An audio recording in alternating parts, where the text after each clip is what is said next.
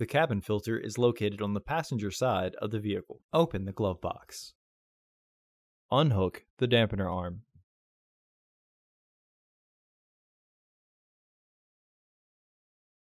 Push in on the sides of the glove box to release the stops and lower the glove box. Unclip both sides of the housing cover to remove it. Remove the old filter from the housing and clean out any debris inside.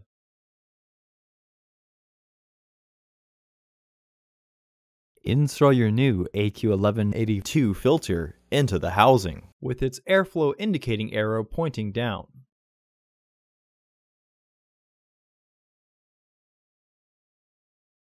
Reinstall the filter housing door.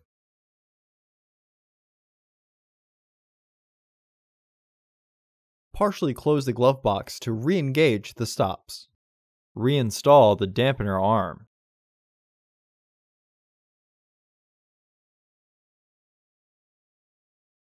Close the glove box.